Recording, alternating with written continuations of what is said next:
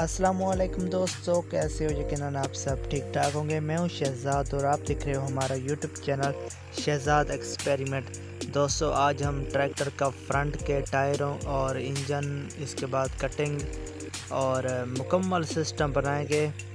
पिछले वीडियो में हमने बनाया था ट्रैक्टर का बैक का इंजन और इस वीडियो में फ्रंट का सिस्टम बनाएँगे। अगर आपको ये वीडियो अच्छी लगे तो चैनल को सब्सक्राइब कर देना और वीडियो को लाइक कर देना।